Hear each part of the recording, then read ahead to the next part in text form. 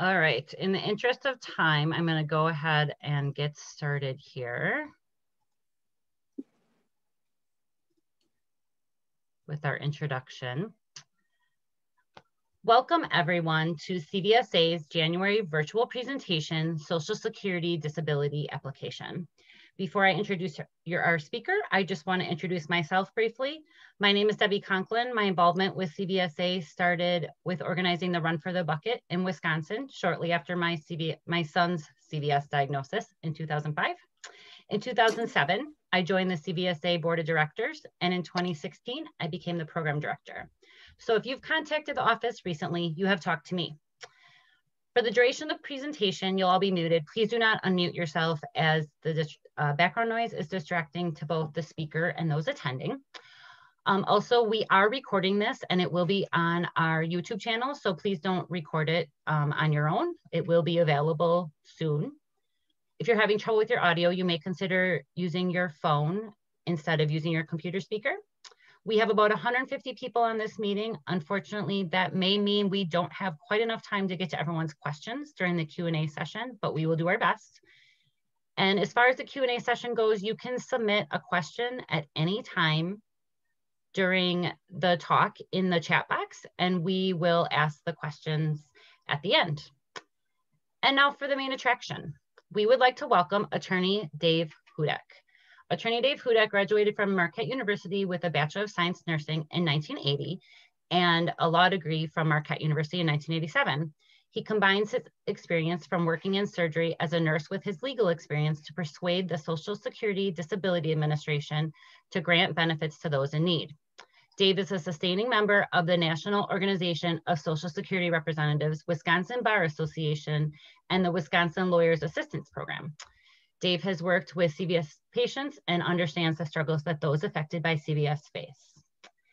One of my favorite things that Dave said in some of the information he sent me is that him and Teresa Romdenne um, have been pursuing this dream job together for 25 years. So welcome, Dave. Thank you so much. Happy to be here again. My purpose today is to give you an approach to Social Security disability that approach means a way to think about whether you're eligible for disability, how to think about the application, and what kind of uh, forms and processes we'll go through. So by the end of this, you should be able to determine if you or your friend is eligible. We're going to talk about what kind of benefits are available to individuals that receive disability benefits. We're going to talk about what is disability, how Social Security approaches that subject, how to apply, and then finally, let's talk about some specific questions that you have. So we'll go to the to the third slide here. We're Social Security Advocates of Wisconsin. Teresa and I have been working together 25 years. All we do is Social Security disability. So that means we talk to a lot of people Social Security is government work. So that means you can't just kind of reasonably guess what the definitions are or what it means to be disabled. It's a very specific process. So we talk to people all the time, people that are still working and saying, I can't work anymore. I can't take this. What do I do? So we take those calls all the time. I like taking those calls. And that's kind of how I'm doing this presentation is to get a sense of what it means to be disabled under Social Security. So we'll do the initial applications, we'll do the appeals, I do the hearings. Typical judge is doing three or 400 hearings a year, so there's a certain approach to that. We do appeals from hearings, and then we even have attorneys that take it to federal court. So let's start in here. What is eligibility? There's two kinds of programs. Social Security Disability Insurance, the one you work for, and Supplemental Security Income SSI, the one because you have little income or assets.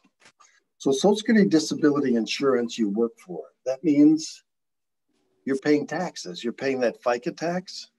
You and your employer are contributing over a period of time and then you're eligible for the benefits for SSDI disability. Generally, it says you have to work five out of the last 10 years. So that means you have to be paying into the system taxes, generally five of the last 10 years.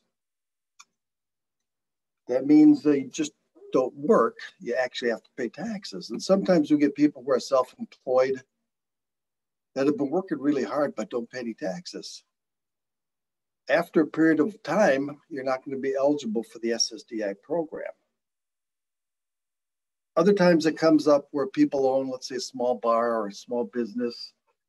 They're making some money, but they're just not filing taxes, or for some reason, certain businesses lend themselves to people working but not paying taxes. Um, Self employed painters work really hard, but sometimes they don't always pay their taxes. I got a good buddy who's a painter, he pays his taxes, but unless you actually pay into the system, you're not going to be eligible. The other thing too is like self-employed people with a spouse. One one of the spouses will take the income, the other one doesn't. The spouse that's not getting wages or paying into the system is not eligible. So spouse is not going to get Social Security disability benefits unless the other spouse passes away. So you have to pay into the system to get benefits. And a little bit we'll talk about what those benefits are. The other program is SSI, Supplemental Security Income. That's if you're poor, if you have little assets. Typically, an individual can have no more than 2,000 of assets, excluding a house and a vehicle. For married couples, it's 3,000. Then they get SSI benefits. So this would apply, for example, someone that turns 18 you can apply for SSI benefits having turned 18 and living in your parents' home, in a friend's home, relatives. You still may be eligible if your assets are low, you have little income, and are found disabled. So that's how that's the two eligibility programs. Sometimes people are eligible for both. So what kind of benefits would you get in Social Security disability? Why would you even apply? Well, let's talk about the one you work for, the SSDI benefits, also known as DIB, the DIB benefits.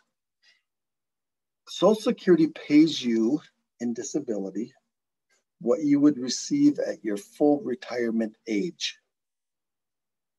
So full retirement age for most people coming up is 67. There's still some, the full retirement age is 65, a little, little older towards 66. So disability benefits is the same thing as if you reached your full retirement age. So that's different from your early retirement. Early retirement at 62 would mean that you get a decreased benefit. So let's say your full retirement age is 67 you take early retirement, that's a 30% cut from your full retirement age. On disability, you don't take that cut, you get your full disability amount, which is your full retirement age. So on uh, SSDI, you could still work. Even applying for Social Security disability, you can still work part time. Every year that amount goes up a little bit. Currently, it's $1,310 in a calendar month, gross income. 1310 in a calendar month. Prior years, it's been a little less. Last year was 1260. So you don't have to stop working. You just can't work too much. There's also benefits that people around or related to the worker. Like I said, the uh, widow benefits, you can get widow benefits. Um, if you're married at least 10 years, you become disabled. There's some special rules. And also certain children, adult children can get those SSDI benefits off of one of their parents paid into the system. So that's the first part. You get money. The second part is that you're eligible for Medicare. So the two benefits you get are money and some kind of health insurance. So the Medicare is the same Medicare you get as if you turn 65. But both of these programs, they make you wait. So they determine your onset date. Your onset date is when you met all the requirements of Social Security disability. So if last year in January 1st, you're technically disabled, under SSDI, you wouldn't get paid for the sixth month. So until June of 2020, you wouldn't get paid. And then two years from June of 2020, then you're eligible for Medicare. So from the onset date of your disability, you have to wait 30 months or 24 months of when the technical date you start getting paid. To decide what your onset date is a little more technical. Has to do with a lot of different factors. But just know that when you apply for Social Security disability, retroactively, you could recoup up to a year back pay. So if I'm disabled two years ago and I apply now, I can retroactively recoup those prior 12 months, which could be significant. The other benefit, the SSI benefit, it's a fixed amount. The max is about 880 between federal and state. So $880 a month, and it's Medicare like Badger Care. People start on Badger Care before being eligible for SSI because I think the cap now for Badger Care is a little over a thousand a month, maybe thousand forty dollars a month of any kind of income. So they would get a benefit up to about 880 maximum. But with SSI benefits, there's no re- retroactivity. You can't go back in time prior to your application date. It starts the month after your application. If you're found disabled, at your application date. And there's no waiting period. There's no children benefits. Now with SSDI, there are children's benefits if you make enough. Once you start getting a thousand, twelve hundred dollars a month, they will give you an extra amount for minor children. So, for example, if you're getting $1,600 a month on your own, if you have minor children, they're going to give you a maximum of another 50% or $800 a month, which is significant, of course. And this sometimes come into play about child support and child support arrearage. I don't do that but Social Security will pay an additional amount of money for children. That's a children's benefit. So those are the, the basics to be eligible and the benefits. So how do you know if you're actually disabled under Social Security rules? So I, I this is the approach I take. Social Security disability is all about function. Sometimes, but not very often, the diagnosis itself will make you disabled. Most of the time, it's all about function. So, Social Security disability is what you can do. And I like to use this 851 rule, and that is can you work eight hours a day, five days a week, not missing more than one day a month? So somebody calls me in and they say I'm disabled, and I said, Well, why do you think you're disabled? And then I asked him, can you show up at work on time five days a week, stay there for eight hours? Can you at least sit? Can you do something? Can you deal with other people? Can you pay attention? Can you deal with work stress? If you can do those things, you're not disabled, generally speaking. So that's that's pretty straightforward. I'm, I'm not saying that's easy to do that all the time to show up on time, pay attention, get along with other people. But that's kind of it. That means if you show up to work and can sort the size of walnuts, there's a job like this. Can you sit at a desk and sort the size of walnuts all day? Yep, you're you're not disabled. But I like that approach because it, it makes you think about function and not necessarily a disease Now, certainly certain, certain kinds of diseases or diagnoses lend themselves to disability. And sometimes there are some objective tests that make it easy to determine if you're disabled. So, for example, blindness. If you're 20 over 200 in your better eye, by definition, you're going to be disabled. You get an eye test, an ophthalmologist or optometrist says this is your acuity, you're disabled, that's pretty straightforward. You can have a heart problem, congestive heart failure. You can have an echocardiogram, and if your ejection fraction is low enough over a period of time, you're disabled by definition. Same thing for lung problems. You get a pulmonary function test. If your breathing is pretty bad and it's objectively documented through a pulmonary function test, you're disabled. Certainly, certain kinds of cancer through biopsy, metastasis, that will get you disability. But most of the cases involved attempting to discover what your actual function is. How much can you do things? You have a fusion surgery. That's, you know, it's pretty significant. But Social Security is going to think, well, some people do really well. You might have had two fusions. You might have had a cervical fusion in your neck. You might have had a lumbar fusion on your low back. Some people still go back to work. So it's all about function so how do you prove function? Well, proof is what people say and what documents show. So documents, of course, are your medical records. So what, what's the first thing you do if you're trying to prove you're disabled? Well, it's good to like see medical professionals. You can go in and say, I can't do anything, I can't lift, but unless there's some kind of treatment or evaluation it's going to be difficult to prove that.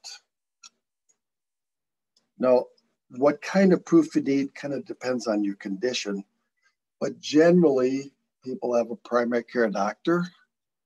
And if they have a special condition, they typically have a specialist. So if you have a spine problem, some spine specialist, orthopedic doctor, or neurosurgeon. If you have fibromyalgia, you're going to be seeing a rheumatologist. They're going to perform certain trigger point tests on you and come up with what they believe is a diagnosis and then try to figure out what your function is every day. Getting treatment sometimes is tough, especially this last year. But without some kind of treatment, it's very difficult. And some of the things we do is try to encourage people to see certain kinds of specialists. First thing, of course, is you should see a specialist if you need it for your medical condition, because the number one rule is do whatever it takes to be healthy. Do whatever it takes to be healthy. If you do that, you're going to be fine with your documentation. But specialists are really important. And it's a curious thing that Social Security doesn't really put a lot of weight in my experience with chiropractors. You can have long treatment history, you can have excellent notes, x rays, but Social Security seems to discount that. The medical model is still in full force that seeing your primary doc, your specialist really helps. When it comes to mental or mood disorders, regular treatment is really important you can't just have a functional capacity evaluation for your mental conditions. But we do get opinion reports from therapists, psychologists, psychiatrists that indicate um, what your functional level is.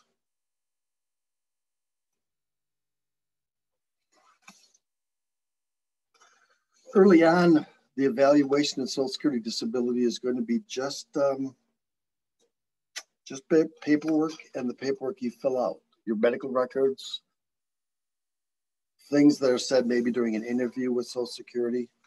They're going to use that to determine if you meet the different technical applications of Social Security disability. Can you function? Can you go to work? Can you stay at work?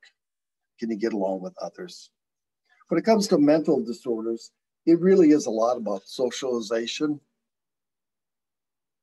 showing up, staying at work, dealing with people, being motivated. Concentration is a real big thing. Can you concentrate for a period of time, even on simple tasks? That is more difficult. Like I said, about 25% of our cases are mental disability cases. Regular treatment is always, always a preferable uh, way to prove your case. The best is a regular treatment through your doctor over a longer period of time. Nowadays, that doesn't seem to be always possible with insurance issues or doctors moving or places closing. But the, in the ideal world, you'd have regular doctor visits. What we do then is we submit a report for a doctor to fill out about, about a functional level. Functional level meaning showing up, staying at work. Do you need breaks? Do you have to sit? Can you stand? How much can you lift and carry? Can you get along with people? So we take those forms and we file them. We do, um, I do the hearings too. And hearings are a different approach in terms of uh, the judges. And that is to, to summarize, we summarize all the medical records and file it with the judge. Like I said, judges are doing three to 400 hearings a year. So some of these files, you know, three, 4,000 pages, we read it all and summarize it. So what does that, what does all this mean to you? First, should you apply? You look at this and say, am I eligible? If I worked enough or am I poor enough? If you can't figure out um, through your statement or from your history if you're eligible for SSDI, you can go online. I don't know if uh, how many are familiar with the My Account under Social Security. That's ssa.gov.gov. You go to my account, M Y A C C O U N 2, Google those two together. You'll get a page where you can open an account. That will give you your Social Security statement that will list all your years of income and it'll say on they say on there if you're eligible for Social Security disability at the time you get that report. It'll also estimate how much in benefits you're going to get for you and your dependents. As to the SSI eligibility, sometimes the only way to figure out if you're eligible is to make an application and that there's a worksheet they go through. It's long and it, it takes a while to go through that. So you just can't tell for sure. Sometimes you just have to go ahead and apply. So if you think you're disabled, and you're eligible and you have some medical proof, you certainly can talk to people that do this all the time, like us, and we can give you a feel for what the process will be like and how likely it is. Or you can ask for help. You can go online and do it yourself with uh, Social Security, the ssa.gov. There's a disability page you can land on. It gives you a checklist of information you need, and you can fill that out. Social Security will probably call you, follow up, make sure the information is correct, confirm you're eligible for one of the programs or both, and then they'll process it. You could also make an appointment with Social Security, and they have people in the local office that will help you Remember that these people are not Social Security disability specialists. The local office does not determine whether you're disabled. There's other agencies that do that. So all you're there is to apply with them. And then there's people that will help you. In every county in the state of Wisconsin, we have the ADRC with Health and Human Services, the Aging and Disability Resource Center. They'll do it free. They'll do your applications. They're trained. They do not do hearings though. They'll do the first two steps, the application, the reconsideration. They do not do hearings from my experience, um, but they will help you do the application process in the first two steps. The application can be a little tricky. The application can be tricky. Let's just talk about some things that I see a question popping up that applies. The application can be tricky. One is when you apply, like what's making you disabled? Well, my thinking and my approach is, well, you go to work with everything, right? You go to work with your body, your mind, your moods, your mental, everything applies. So anything that has a limitation or restriction on your ability to do what I talked about, eight hours a day, five days a week, not missing more day a month, you should put that on the application form. That's what I think. Because I'll give you some examples. If you have a cervical fusion on your neck, typically there's other symptoms that go along with that. There's some neuropathy in your hands. You might have significant amount of pain, which affects your concentration. You might become depressed because you can't work. You might be seeing a therapist. All those things come together. But, you know, as life goes on, we all get a, a beat up a little bit. So there's different things. Um, I love talking to these uh, older workers. And when I was seeing them in person, I'd, I'd make them put their hands on the desk because I'd often I'd get these hardworking people they have little tips missing on their fingers or a knuckle's gone from some bandsaw accident. Well, that makes a difference with Social Security. You can't do certain jobs like keyboarding if you're missing part of your finger. Or they'll have all kinds of significant uh, fusions or surgeries or limitations that go back 15, 20 years. They've been limping around at work, working. But what finally did it is they had a heart problem. Well, with application for Social Security disability, you really should include it all. And I'm not saying making things up or whining about things. I'm saying if you got legitimate limitations, you should put it on there because that's how you would go to work. The same thing is true with um, mental and mood disorders. A lot of a lot of hardworking people don't just don't like to talk about that. But if there's a limitation, anxiety, panic attacks, if it's a legitimate thing that's bothering, it should be put on the application. It is more fuss. It is more work. It's more work for us to get those records and try to get reports from the treating people. I just think it's a more legitimate, comprehensive, authentic way to do it. I tell people all the time just be yourself, tell them how it really is. Don't complain, just tell it how it is, but don't minimize it either. So I think that's a big thing is to list all your impairments on your application. And of course, all your medical treatment. Social Security typically only goes back about a year, but I find often you have to go back significantly further than that.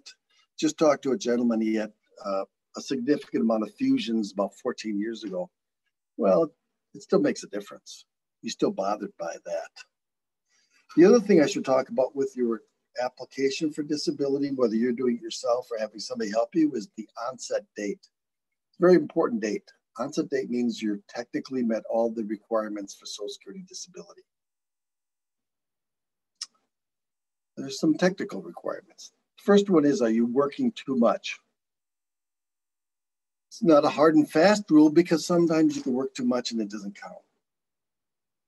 But generally $1,310 this year If you're working under that, then you could be disabled. If you're working more than that, you're probably not disabled. The, the second thing is to go back in time enough.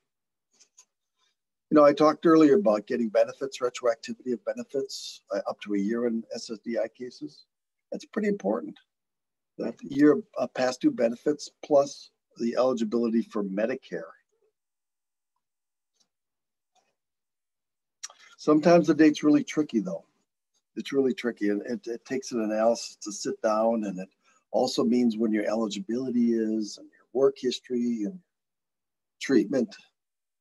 It's often the onset date is incorrect. It should be back farther.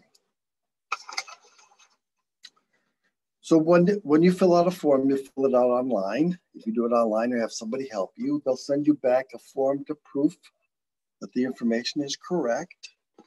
And then they're gonna have you fill out some forms. One form is your work history form. And that's how you actually did your work in the last 15 years. So back to 2006 going forward, they have to determine whether you can go back and do your past work. Makes sense. So they got to figure out what your work was. So when you fill out that form, it's basically what job did you have? How did you do it? Now, Social Security knows what jobs you were paid. I mean, they have everything in there. You probably know what I had for breakfast. But they certainly know anytime any employer paid tax for you, they have that listed out by year. But they want you to fill out a form so they can see if you can go back into your past work. It's basic stuff. How much did you sit, stand, walk, bend, twist, turn? How much did you lift and carry? What'd you do? Did you supervise people? It's pretty straightforward. I know some people have 25, 30 jobs. That makes it difficult, but generally it's how you did your work so they can figure it out, whether you can do it now with your conditions. The second form is called an adult function report. Adult function report is what's it like to be you every day? I, I ask people all the time, how much do you sit down? How much you lie down? Who asked that question?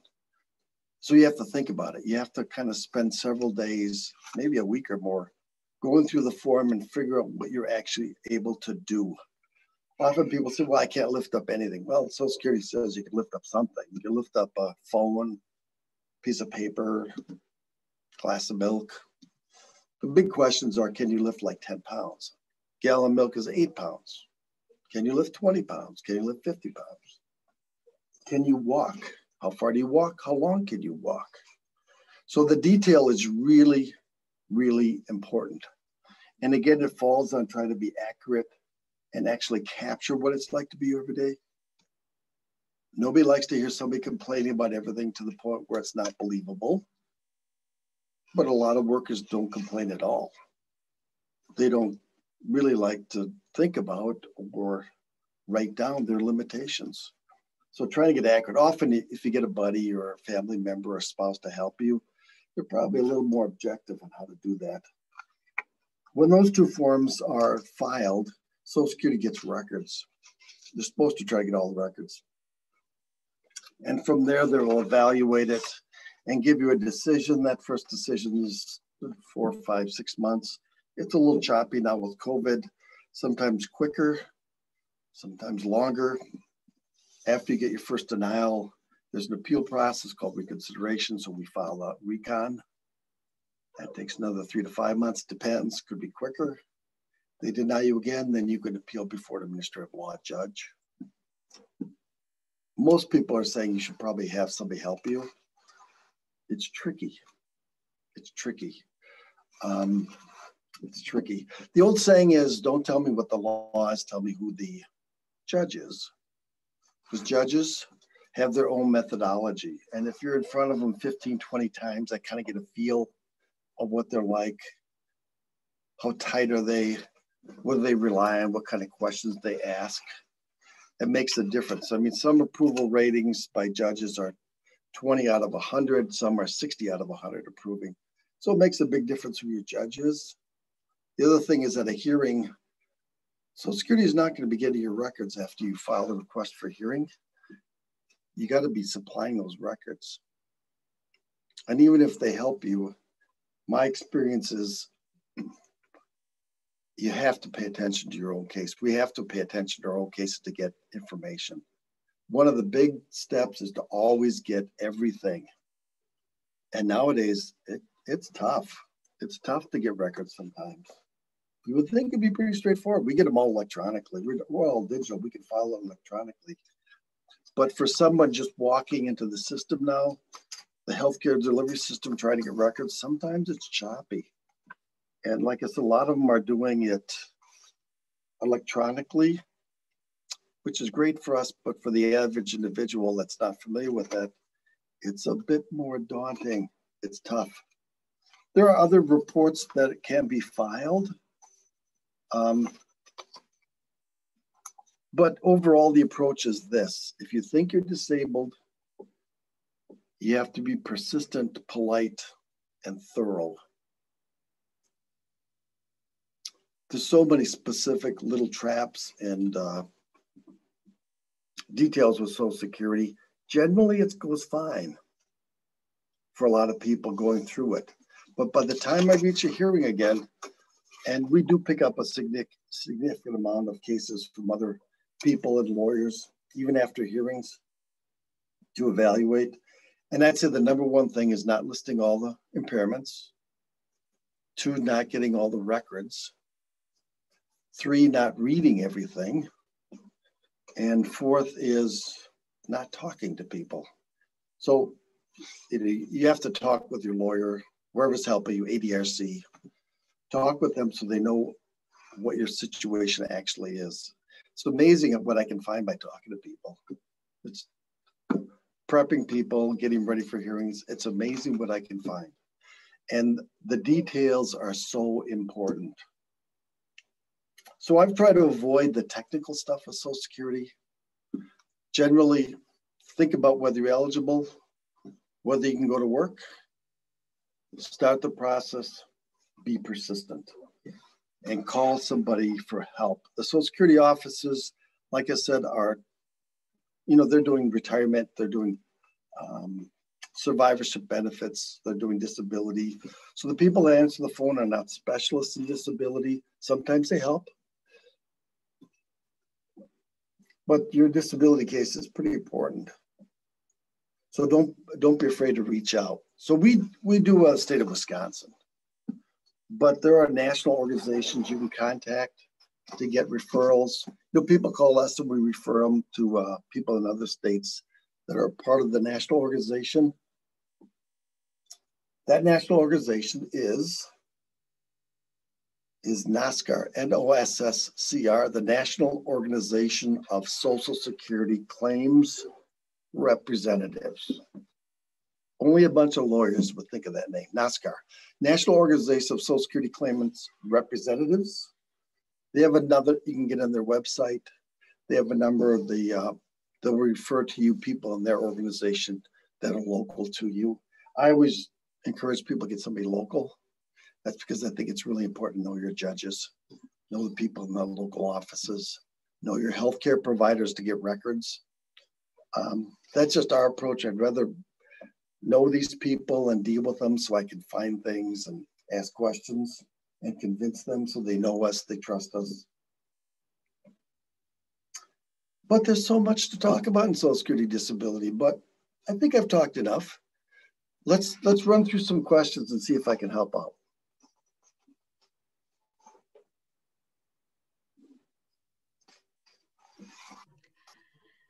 Thank you, Dave. I think a lot of the information you already provided was very helpful. Um, I'm going to try not to ask the questions that you already covered, but I may, sometimes it's good to hear information twice. Um, the first question was, if someone's CVS is under control, would they still be eligible for Social Security? Excellent. So I go back to my definition of what it's like to be disabled is can you go to work eight hours a day, five days a week, not missing more than one day a month? So under control, it sounds like their symptoms are not preventing them from everyday activities. So I would say it'd be difficult in that because you'd have to show what, how would that interfere with your ability to go to work? Typically with, um, with cyclic you're experiencing days or periods during the day where you're not going to be able to do anything, where you're going to be incapacitated. That would make you disabled. But if you have it under control with treatment, uh, there is no definition of disability there. Perfect. Thank you. Um, someone's asking about if this only applies to the states and they're in Canada. So, do you have any ideas of resources for people in other countries? Yeah, there's there's special rules about that. that I that you have to look up the specific country. I think Canada is one of. You could still receive benefits in Canada if you've paid into the Social Security disability system in the United States. But there are special rules. It's complicated. I've done it a couple times. Uh, you can go on the Social Security website and they'll tell you what countries you're eligible for. Uh, but you have to have enough eligibility credits in the Social Security system in the United States. So sometimes people become disabled and move to another country. There's a list of countries that you still get paid by moving to that. There's a list of countries that you cannot get paid. I hope that's helpful, but you really should look up the Canadian requirements for receiving disability benefits and whether you're eligible. Hope that helps. All right, thank you. See. Um, I think that one was kind of answered. Um, there was one, I lost it. It was in the beginning. So um, someone was asking that um, they lost their um, Social Security hearing. They've been told they have to start over.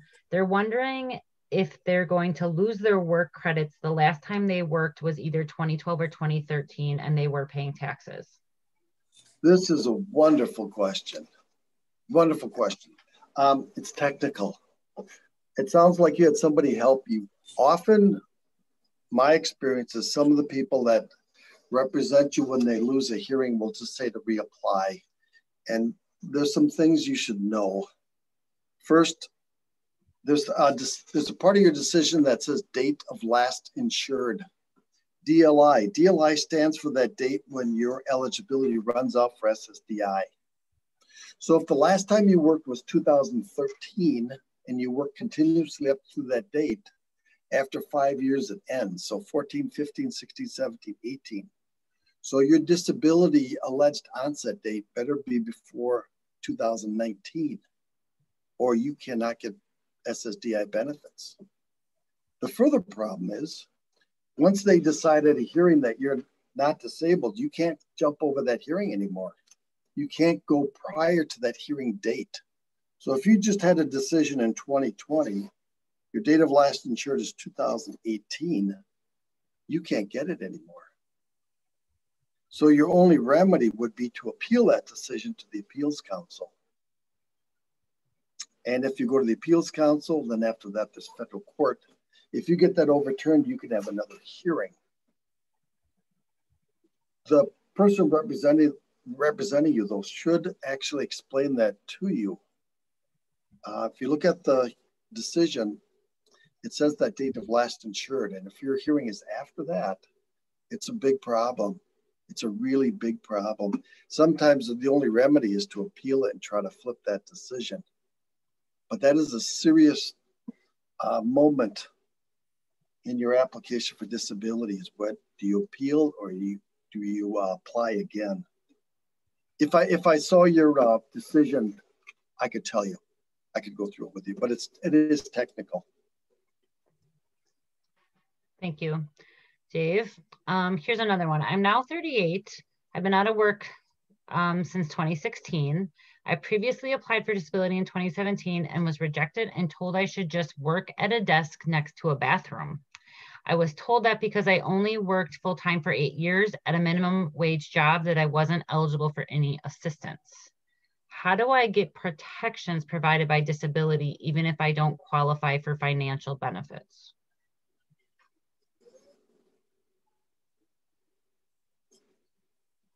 Disability is not going to provide you any help unless you actually get disability determination and get benefits you know, it sounds the, the initial question though is, are you disabled? I get that all the time. People and the symptoms, I don't know what your symptoms are, but I'm just saying typically people that need frequent bathroom, unscheduled bathroom breaks, IBS, some kind of uh, GI issues, some kind of bladder issues. Um, that's that's a legitimate way to become disabled because a lot of employers won't let you do that if you have too many breaks or too mm-hmm. long of a break. And I don't know when your determination was. If it's the, at the initial determination, vast majority are denied at that level. And I'm winning those only at hearing levels, the IBS and the other issues, because you need frequent bathroom breaks. for any issue, but it's a judgment call. Um, I wouldn't necessarily agree to say that you're not disabled. You could very well be disabled. Sometimes you have an accommodating employer, you're working less than full time, and they let you take frequent unscheduled breaks. But I find that at hearings, if I can prove frequent unscheduled breaks, that's a finding of disability. So that's my response is you, you might really be disabled depending on your condition. Thank you. Um, someone's asking that um, they have had no income since 2018. They were forced to resign from their job, but they live with their retired father who's on a fixed income. Is his income technically my income?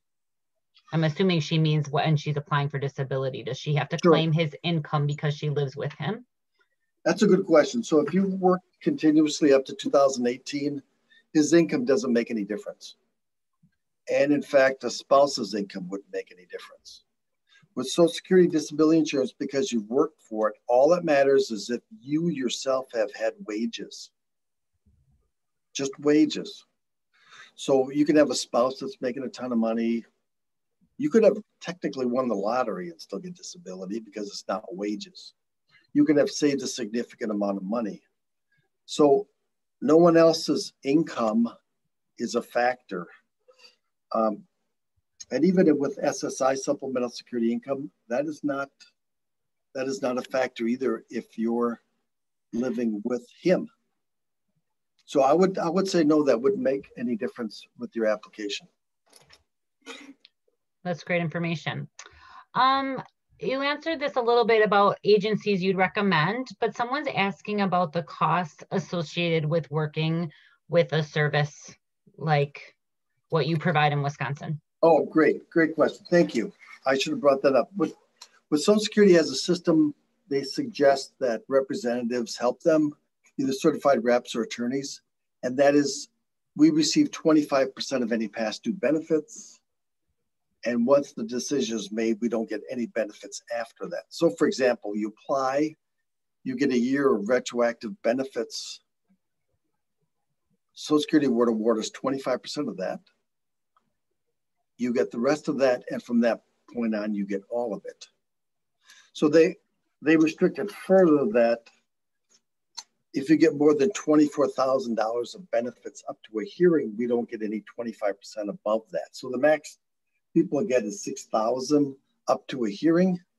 After a hearing, if you, we appeal it to the appeals council, that goes, gets overturned and come back down, they take off the 6,000 cap and it's just 25%. So the rule of thumb is you don't pay unless you actually receive benefits. It's 25% uh, cap. And we don't charge for costs and things unless people actually get benefits. So people never get any benefits. They don't owe us anything at all. Wow, that's really actually great to know. I think some people don't probably didn't realize that. And is that something commonplace in every state? Like, is that something that's kind of set up by the government so that like Wisconsin can't say do their own thing? That's set up by the Social Security guidelines, and they let people in other states put any any caps on that or restrict it further. That's just the general Social Security guidelines, and that's what generally Wisconsin follows. I'm not sure about all the other states how they do that. But they can't loosen it, is what you're saying. They can only restrict it further. Correct. That's correct. Okay. Okay. Great. Thank you. Okay, so let's see. Um, um, this person wants to know what the process for getting um, SSD for your child once they turn 18. Um, so they tried to file, but they were not approved because of their income. Because she, I'm assuming she's not quite 18 yet. She can't go to school, she can't work, and she can't get a driver's license. So they want to know how to get her on SSD by the time she turns 18. Yeah, there's two there's two kinds of Social Security. One's for children, one's for adults. The adult starts at 18. So there has to be a new application when they turn 18, even if they've been on disability prior to that. They'll they'll they'll terminate children's benefits, and you have to apply for adult benefits because the standards are different for adults. If that answers the question. I think I think that does. Yeah, you have to you have to have a new application, and there could be SSI benefits or SSDI benefits. It's just a little tricky, but yeah, th- they should apply after the age of 18. Okay, thank you. Um, what if your child's age five is the one who's disabled but needs constant care? They can't go to school. So that might actually kind of be related to the the previous question. So they can apply for it as a for them as a child. Yes, as children's benefits, and then there's there's an eligibility requirement because really it's an SSI uh, benefit for the child. So there's a there's a family asset and income test for that.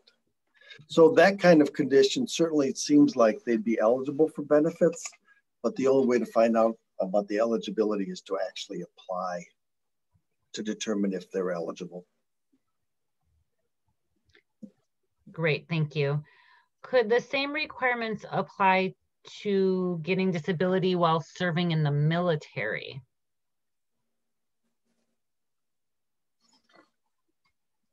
I think the question is, can you receive both veterans benefits and Social Security disability benefits?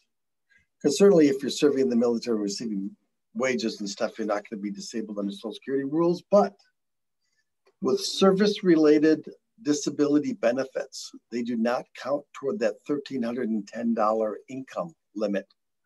So if it's a service-related disability, you can get that disability monthly payment plus Social Security disability. Now, veterans disability determines benefits completely different than Social Security. They can do they can do um, parts, percentages. Social Security, it's all or nothing. Either you're disabled or you're not. And in veterans benefits, you can get 10%, you know, 30%, you get different body parts, different function. But the general rule is if it's service related, you can apply and perhaps get Social Security disability benefits on top of that. Okay, thank you for that answer. I think the what what you said is probably what they meant in their question. Um, this one says, if I'm at the federal level, would it be best to keep going or start a new claim after three years? Uh, this is another great question. This is a great question. Um, the Social Security system technically ends at the appeals council level. That's one step above the, the hearing level. And when you appeal it to the federal court, you can file a new application while your case is still pending in federal court. So we do that. So you have a claim with the federal attorneys that they can take over a year, year and a half. So what you do is you file a new application, just like you did the first one. Your onset date is not prior to the decision from your hearing. And you can see if you can get someone disabled at that initial or the next step level. And the benefits, one, they'll get benefits, monthly benefits earlier. And two, if you get that decision flipped, the federal judges say that decision is wrong, you got to go back and do your second hearing. They'll join those two together and often what I'm finding is judges are thinking now, well, they decided you're disabled on your second application. So now let's see how far we can go back. So we we encourage people to do that second application. There's a lot of advantages for it. The disadvantages is it's it's a lot of fuss. It's more work. It's more to keep track of. But really there's there's a ton of benefits in doing it. I don't know how many people are actually doing it, but I think it's a great thing to do it's definitely some good advice, I think, for people that are going through that process. It's so long. It takes so long. Uh, we had a couple hearings that we won finally. Both they were just over nine and a half, almost 10 years each. So this one I applied in uh, 2011. I did five hearings and we finally won it at the fifth hearing. That's sometimes you just have to do that. You just have to be really, really persistent. That's really unusual. But Social Security has its own timetable. It doesn't necessarily go quickly. Yes, I am sure. if you're eligible for SSI, can you eventually get Medicare? Yes, you can. You can get Medicare by working a little bit. Um, so this is how that works. You can make $1,310 in a calendar month. With SSI, the more you make, the less you actually get.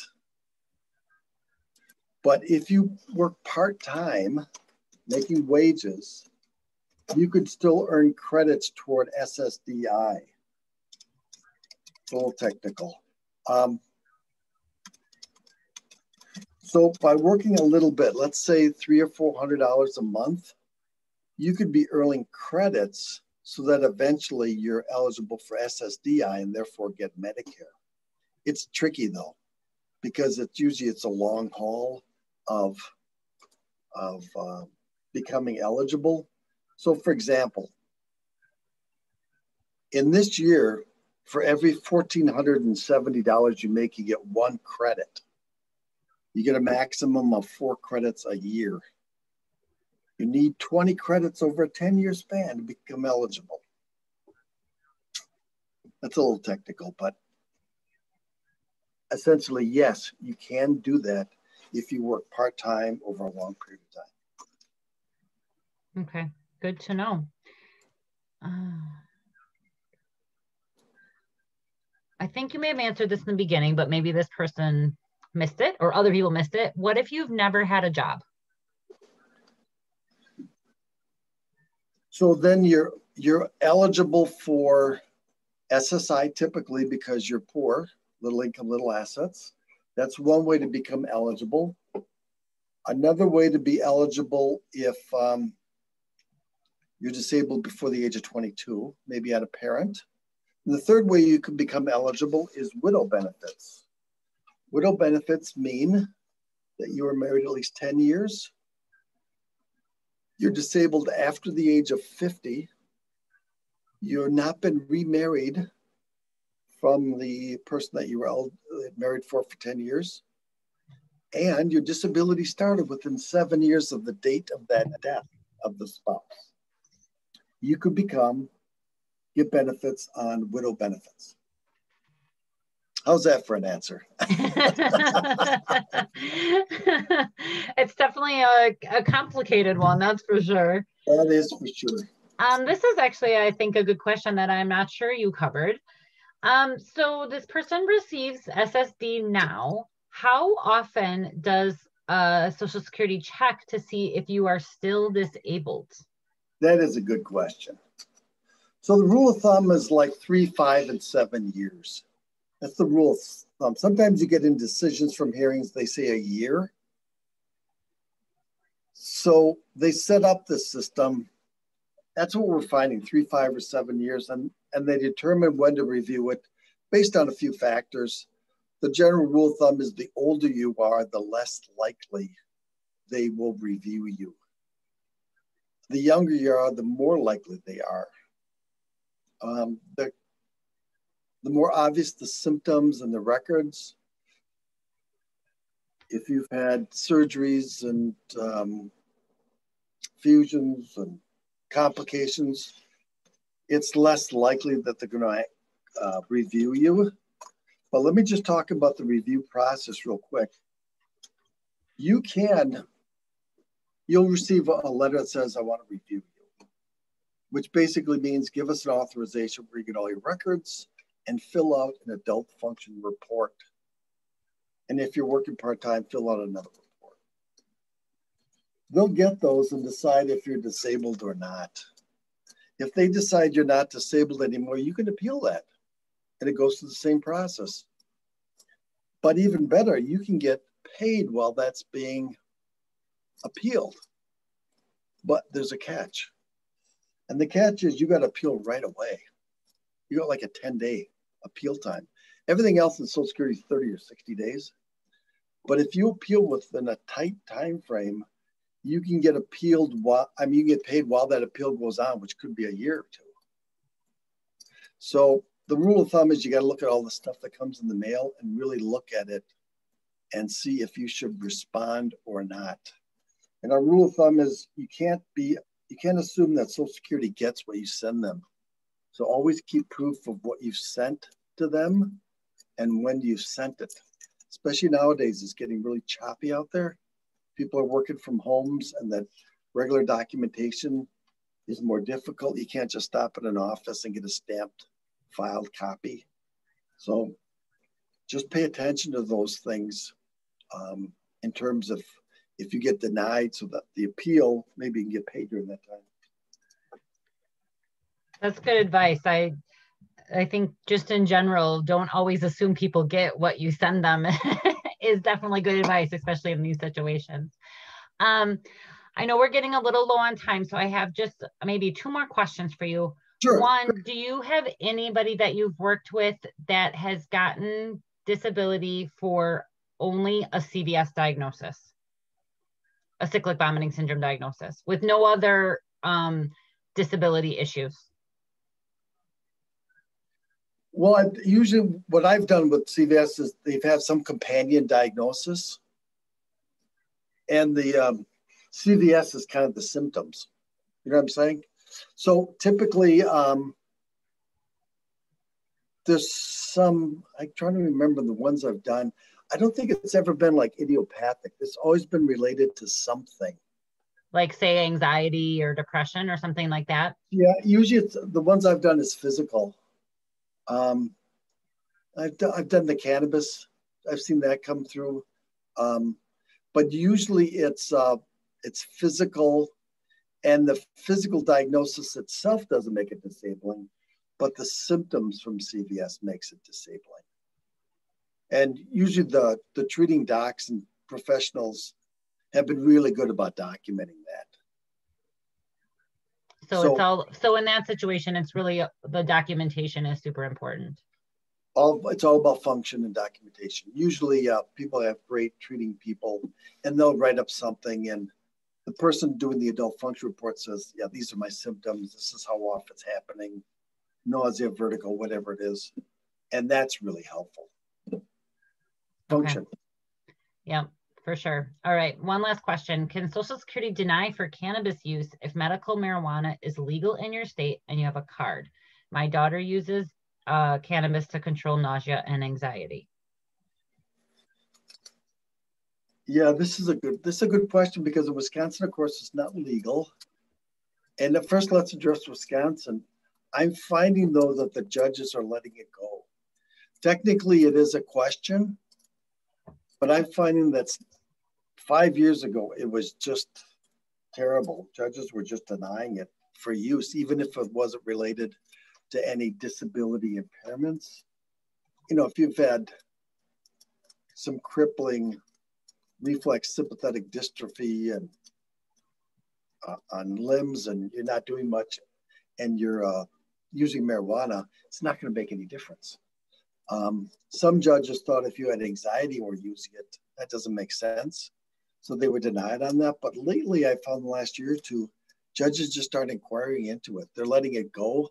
It's not an impediment, it's the harder drugs that are doing it. The regular alcohol use, meth, molly, cocaine, injectables, those things are, are preventing it, but the marijuana use is not. As to other states, just anecdotally talking to people, they're letting the judges are letting it go. They're saying it's okay, especially if there's medical treatment. You're seeing a doc. The doc says, yeah, you can do that. They're letting it go. It's not an impediment to getting disability. But it, it it's helpful just so the doctor says, yeah, that's that's um, that's okay. When you have doctors saying, I want you to stop, then that's a problem. That makes perfect sense. Thank you for that. I think that's definitely going to be a question for a lot of people. Okay, I have one more really quick question that I happen yeah, to see at the end. I think sure. I know the answer, but I'm going to ask you: Is CVS in the blue book for SSDI? That's a good question. I have not seen it. I have not seen it. Uh, CVS in the, in the blue book. I believe it's not based on we had a Social Security um, representative write an article for our newsletter. Um, if the person asking that wants to send an email to the office, I can send you that. But they, in the article, they talk about how you have to relate it to something as close to CVS as you can. So I, at least at that time when the person wrote the article a couple years ago, I believe it was not in the blue book. Yeah, and I'm the not last sure. yeah, and I last time I looked, I did not see it. I don't have any current cases. What I do when I get a current one, I look up the most recent. And the last time I did, I did not see any. Uh, like fibromyalgia has a checklist, Right. and some of the other ones that are a little more fatigue, autoimmune, but I don't see a checklist. And when I've gone through other sites, the other uh, big national guys have their question and answers, and I look at theirs, and they're just doing by symptoms too. I don't see any specific regulations on them. So my guess is probably not. But I can always look up for somebody. They can always contact me. I can I can check to see if it is. Okay. Well, Dave, thank you so much. This is, um, I think, been a really great informative presentation for especially our adult population, um, but kids too. Um, so we really appreciate it. And thank you everybody for joining us. The recording will be out on the YouTube channel. It usually takes us about a week to get it um, all edited down if we need to and taken care of. So thank you so much, everybody. Have a great day. Thanks for all your good work. Take care. Thanks. You as well.